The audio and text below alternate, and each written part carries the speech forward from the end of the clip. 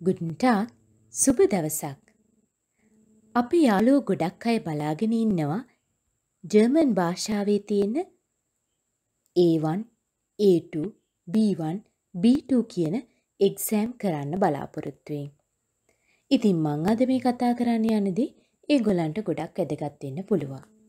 මං අද කතා කරන්න බලාපොරොත්තු වෙන්නේ A1 එක්සෑම් එකට එන ස්පීකිං වල පළවෙනි ක්වෙස්චන් එක. ඇත්තටම යාළුවනේ පළවෙනි ක්වෙස්චන් එක හරි ලේසි. මොකද තමන් ගැන තමයි එක්ස්ප්ලේන් කරන්න තියෙන්නේ. ඒගොල්ලෝ ප්‍රශ්න වගේක් දීලා තියෙනවා නාම, අල්ට, ලන්ඩ්, වෝනෝට්, ස්ප්‍රාහන්, බෙරූෆ්, උන් හොබී කියලා. නාම කියන්නේ එතකොට නම.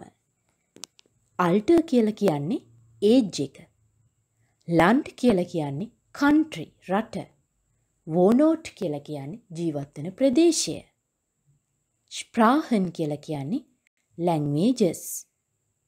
බෙරූෆ් කියලා කියන්නේ ජොබ් එක රැකියාව. හොබි කියලා කියන්නේ හොබීස් ගැන.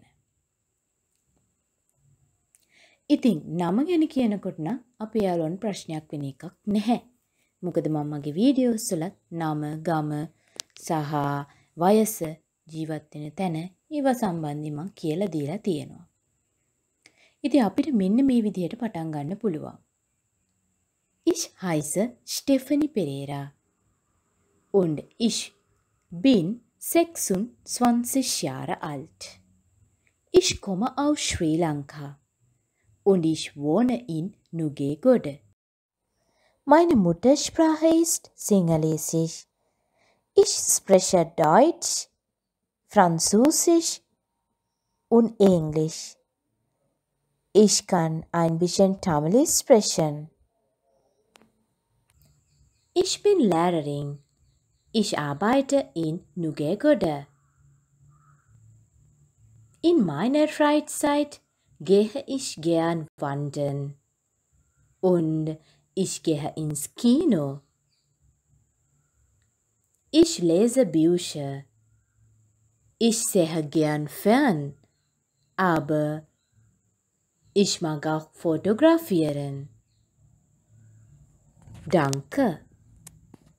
ඔන්න ඔය විදිහට තමයි ඔගලන්ට ඔගුළු ගැන එක්ස්පලේන් කරන්න පුළුවන් වෙන අර ක්වෙස්ෂන්ස් ටිකට අනුව. එහෙනම් ඊළඟ ක්වෙස්ෂන් එක ගැන අපි ඊළඟ පාඩමින් කතා කරමු. බොහොම ස්තුතියි. Auf Wiedersehen. Juice.